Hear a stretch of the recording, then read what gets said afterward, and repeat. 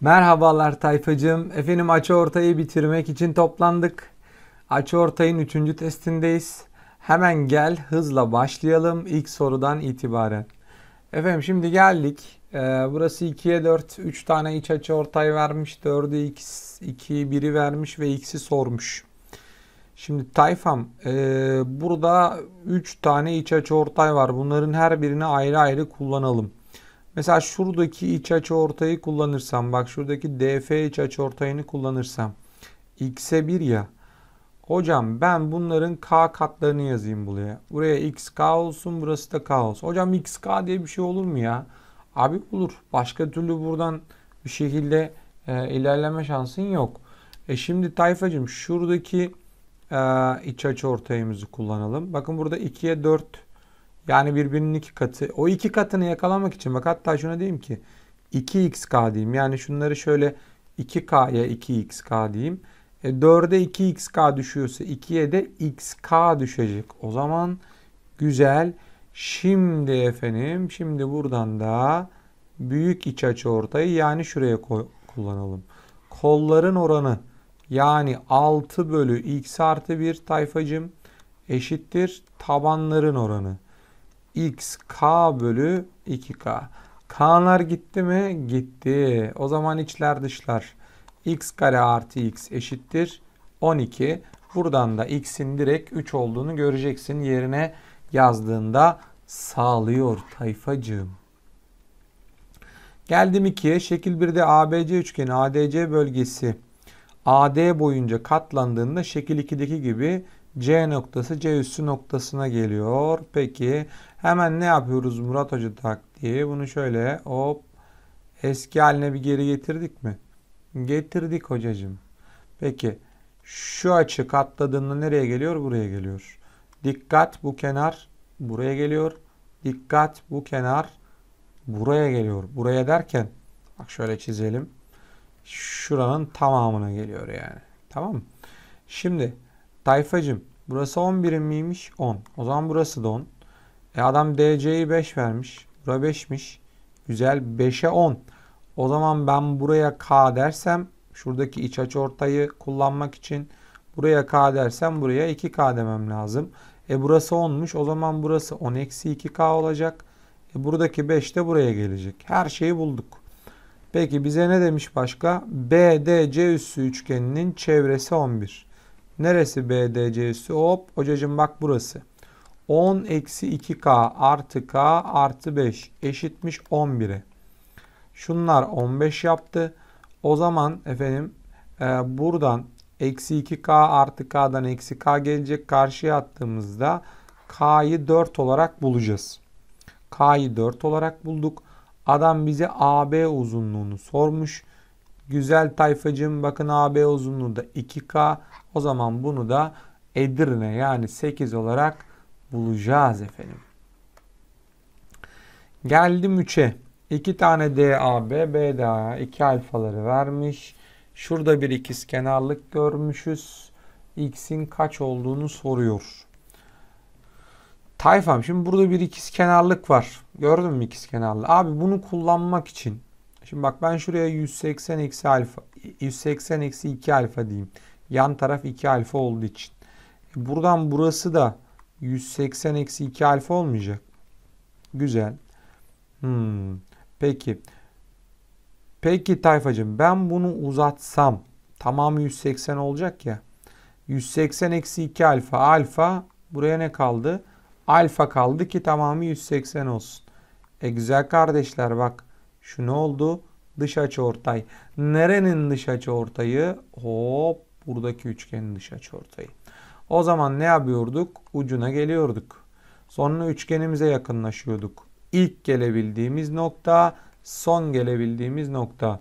Uzunlukların oranı 12 bölü 16 eşittir. İlk geldiğimiz kenar x, ikinci geldiğimiz kenar 4 hocacığım. Bak 4 katına çıkmış. Bu da 4 katına çıkacak.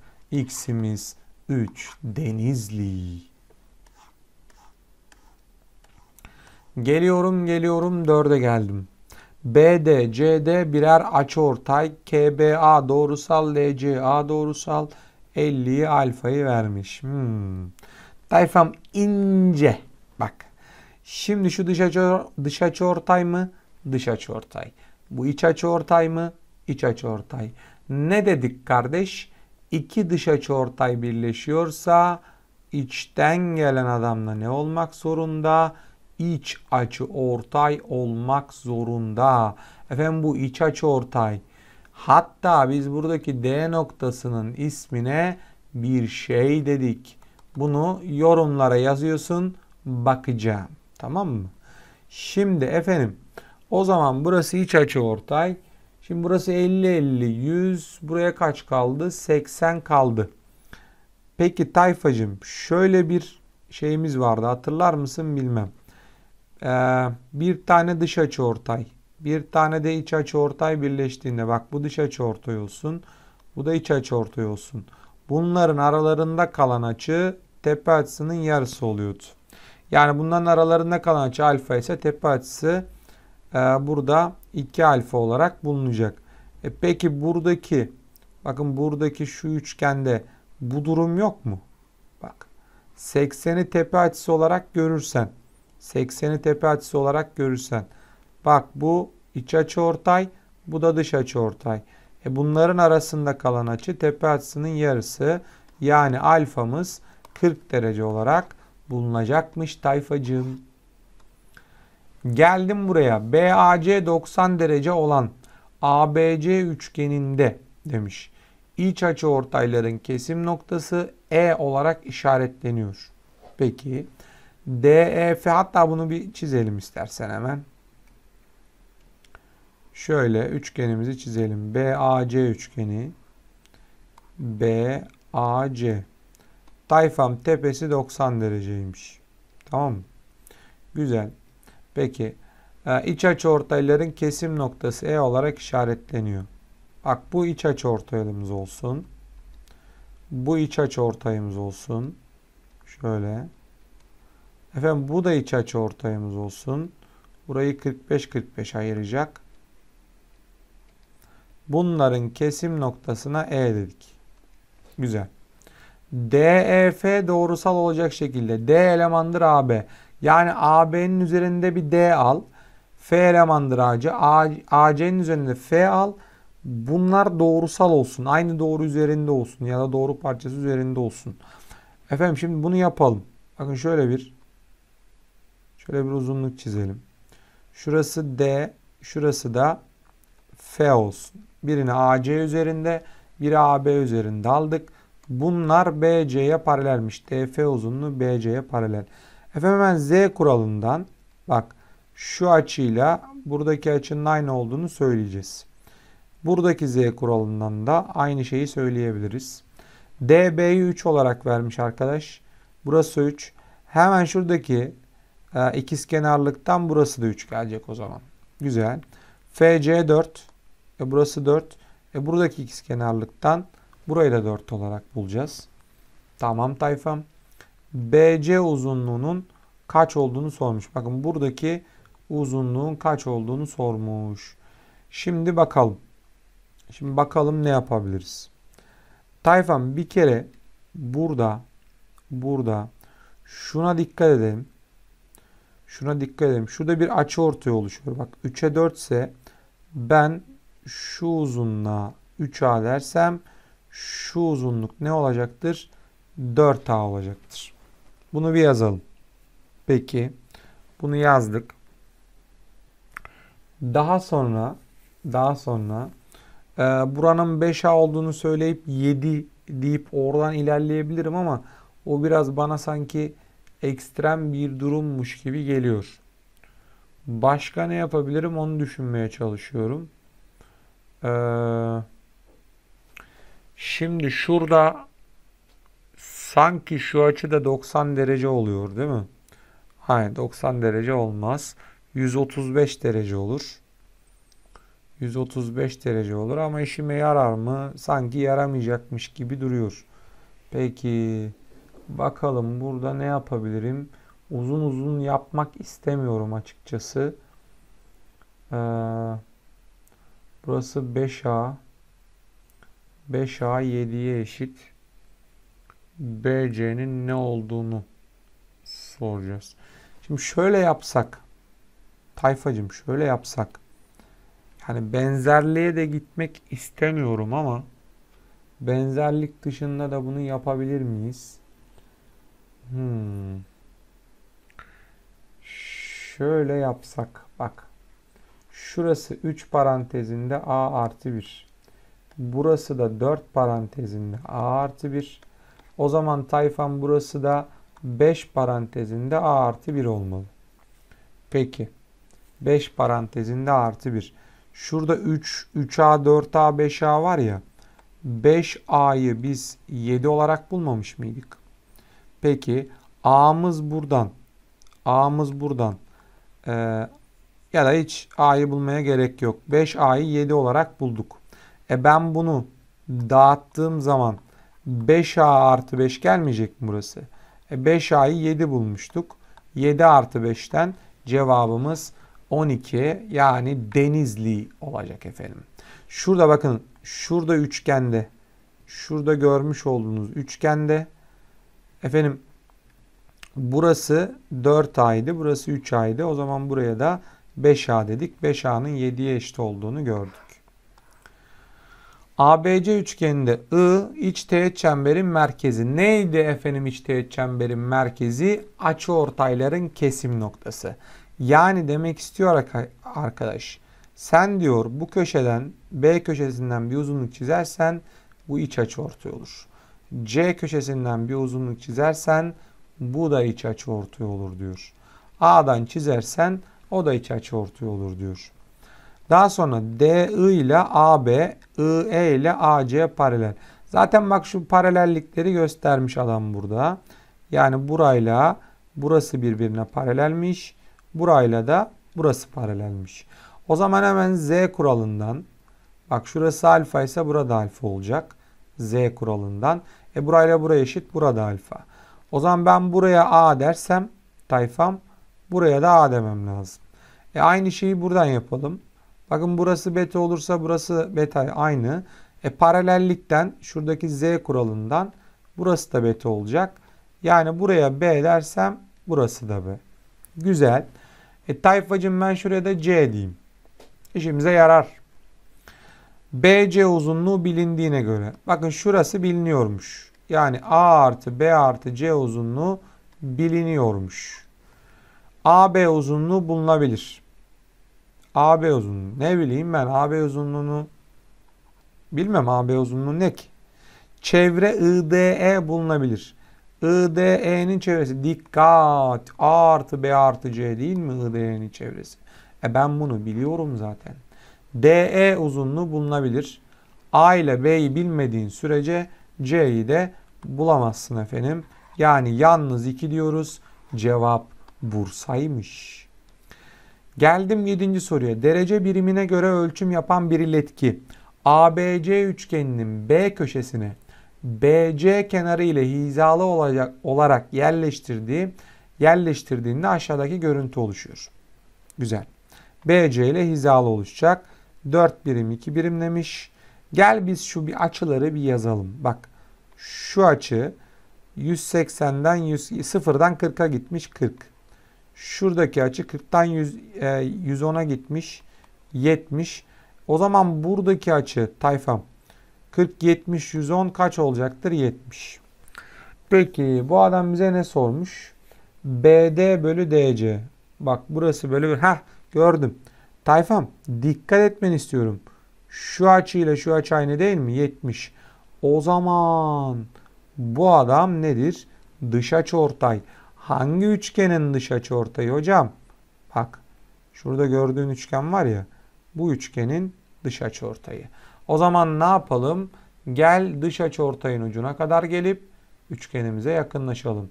İlk gelebildiğimiz nokta son gelebildiğimiz nokta. Yani 4 bölü 6 eşit olmalı.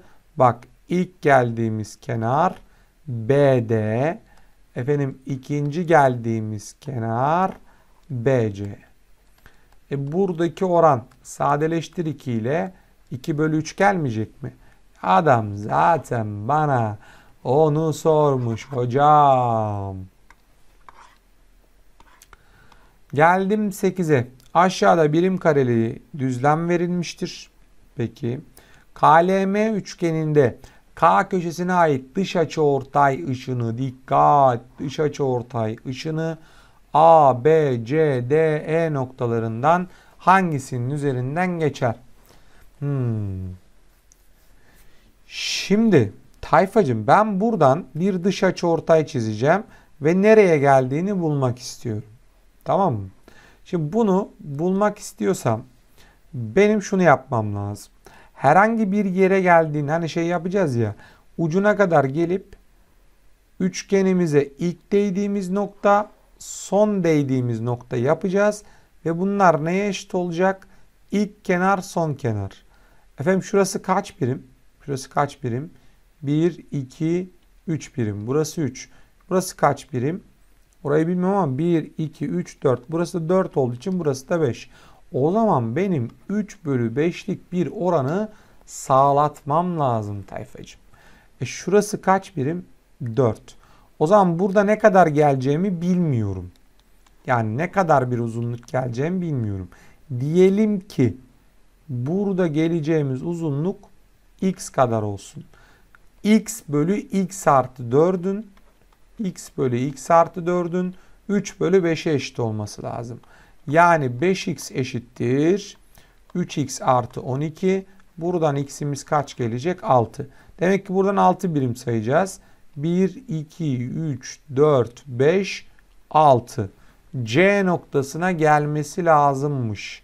Yani şöyle bir dış açı ortay çizebiliriz. Harbiden de oluyor mu bakalım. Bakın ilk x bölü x artı 4 3 bölü 5 olarak bulunacak. Cevabım Ceyhan'mış. Ne diyorsun? Aşağıda bir kenarı 10 santim başka bir kenarı 8 santim ölçüm yapabilen bir gönye verilmiş. Peki birisi 10 birisi 8. O zaman bu dik üçgen gönye 6 8 10. Üzerinde işaret olmayan kenar ölçüm yapmıyor. Burası ölçüm yapmıyor. Peki gönyenin ortasındaki boş bölgenin kenarlarını kenarları gönyenin kenarlarına paraleldir. Peki şekildeki pembe renkli doğru parçasının bir ucu gönyenin bir köşesi, diğer ucu gönyenin 3 santimetre ölçümünü gösteren noktasıyla çakışıyor. Gönyenin ortasındaki boş açının ölçüsü alfa ise soru işaretinin alfa cinsinden eşittir. Hmm. Bir kere burada 6, 8, 10'u sağlayacak dedik. Pisagor yani e, hipotenüsümüz 10 olacak o zaman. Buradan ben bunu anlıyorum. Peki. Şuranın 3 olduğunu söylemiş bize. Şimdi 6, 8, 10'u yakalamaya çalışıyoruz. Tayfacım. 6, 8, 10'u yakalamaya çalışıyoruz.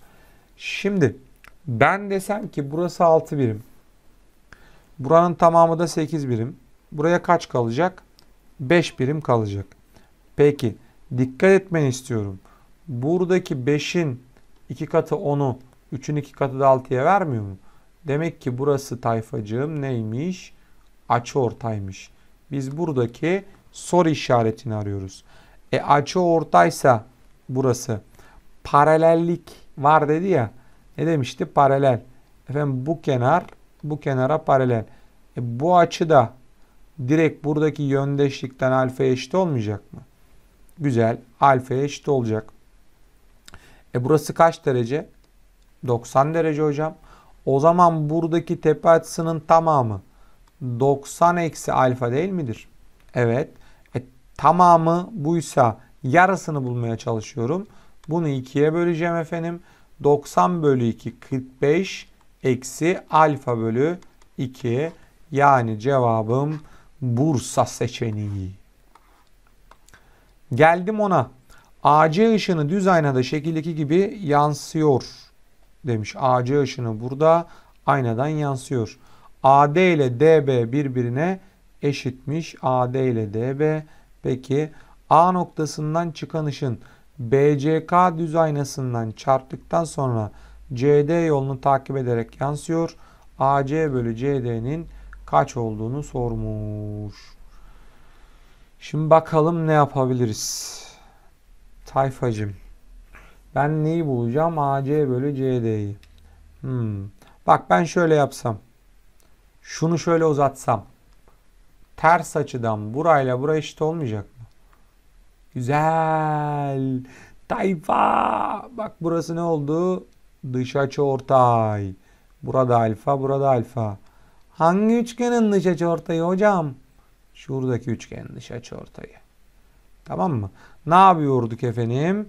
Dış açı ortayımızın ucuna kadar geliyorduk, geldik. Üçgenimize yakınlaşacağız. Efendim burası x olsun mesela. Şöyle x x diyelim. İlk diyebildiğimiz nokta son diyebildiğimiz nokta x bölü 2x uzunluk olarak eşittir. İlk geldiğimiz kenar CD bölü son geldiğimiz kenar AC. Efendim burada bunlar gitti.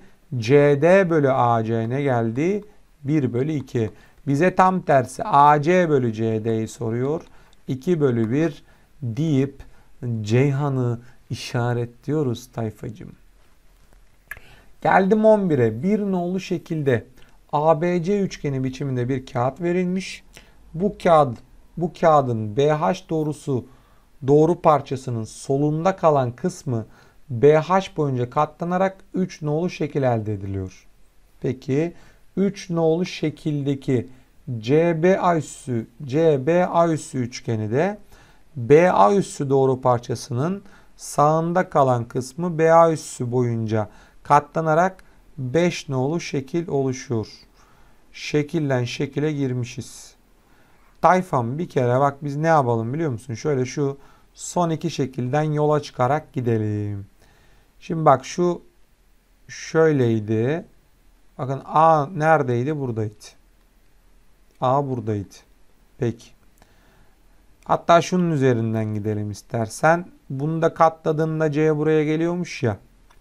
Şöyle C şuradaydı. Bak şöyleydi. B ile de C birleşikti. Bak C buradaydı daha önce. E buradan da şunu uzattığında şöyle birleştirdiğinde A da buradaydı. Şimdi bunun üzerinden gidelim.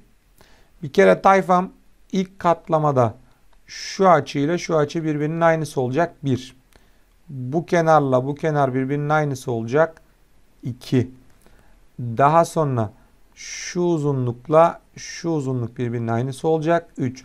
E akitten buranın da dik olduğunu söylemez misin? Söylerim hocam. Peki sonraki katlamadan bak bunu ne yapıyorum? Hop buraya katlıyorum. Buradaki katlamadan da yola çıkarsam efendim şu açı katladığında buraya gelmiyor mu? Of of of of of. O zaman burası da öbürüne eşitmiş. Yani şuradaki 3 açı da aynı geldi o zaman. Peki.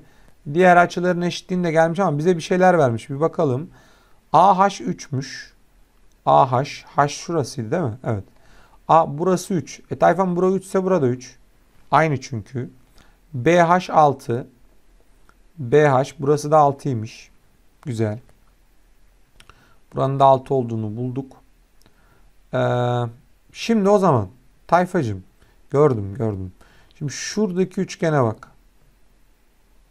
Şimdi şuradaki uzunluğa bak. Bu iç açı ortay değil mi? İç açı ortay.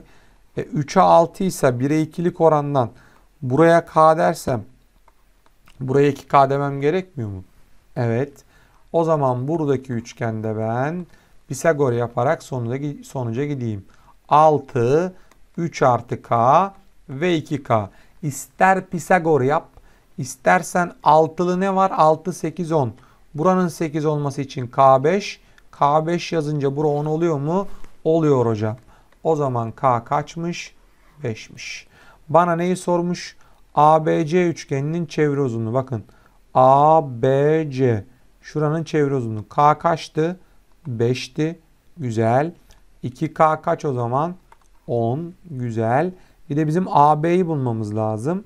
E buradaki üçgende ben Pisagor yaparsam 3, 6 birbirinin iki katıysa küçüğün kök 5 katı. O zaman çevre efendim şuradaki görmüş olduğunuz ABC üçgeninin çevresi Burası 6 artı 5 11 artı 10 artı 3 kök 5 21 artı 3 kök 5 cevap Edirne'ymiş tayfacığım. Efendim buradan geliyoruz 12. sorumuza. Önce bir aşağıya okumamız gerekecek galiba. Yukarıdaki origami sanatı ile dördüncü şekildeki gibi yat yapımı gösterilmiştir. ABC üçgeni AD doğrusu boyunca zaten onu gösteriyor galiba. Bulabiliriz. Boyunca C köşesinden birinci şekildeki gibi katlanıp geri açılıyor. Daha sonra ikinci şekilde dörtgensel bölgeye EF boyunca katlanıp açılıyor. Üçüncü şekil elde ediliyor. Bir bakalım. Tayfam önce burası katlanıp buraya geliyormuş. Tamam. Sonra burası katlanıp buraya geliyormuş. Okey. Sonra bunlar katlama çizgileri. Ve son olarak şu şekil oluşuyor. Şimdi bu son iki şekil üzerinden gidebiliriz diye düşünüyorum. BD 5'miş bir kere. BD 5 şurası 5. Peki. DC 3. Tamam burada 3. Eee. AF4 AF AF neresi tayfacım? AF4 tam gördüm yukarıdan AF'nin neresi olduğunu. Şurası 4. GF2'ymiş. GF2. Hmm. GF katlanmadan önce bak bu katlandıktan sonra şöyle geliyor değil mi? G şurası. G şurası. GF burası 2. E tamam sen katlandığında C noktası aslında G'nin üzerine geliyor. Yani şunu şöyle uzattığın zaman şurada aslında C noktası var. E sen burayı 2 verdiysen burayı da 2 vermen lazım. Yani şuradaki uzunluk da 2. O zaman buranın tamamı kaç tayfam? 6. Güzel. Güzel. Bu arada bir de B üssü E'yi de 3 vermiş. Onu da unutmayalım. Tamam. B üssü E'yi de 3 vermiş. Bunun üzerinden gitmeye çalışıyorum. Şimdi tayfacım bir kere katladığımızda şu açı buraya geldiği için burası açı ortay. E 6'ya bak burası 6 burası 3. 1'e 2'lik oran var ya bura 5 ise şuranın tamamı 10 olmalı. E 6 katlandığında buraya geliyor. Burası 6. O zaman şuradaki C üssü B uzunluğumuz 4 olacak. Güzel. E B üssü E'yi adam sana 3 vermemiş mi? BE uzunluğu değişmez kardeş. Burada 3. E adam bize ne sormuş? EC üssü. Güzel. E buranın tamamı 4'lü tayfacım. E burası 3 ise buraya kaç kaldı? 1 geldi. Mis mis mis gibi soru. Cevap Ceyhan. Bitti mi? Bitti. Tayfacım açı ortayı tokatladık. Bir sonraki testte kenar ortayımız var. Ağırlık merkezi o bu. Murat Hocan seni bekliyor. Kendine iyi bak.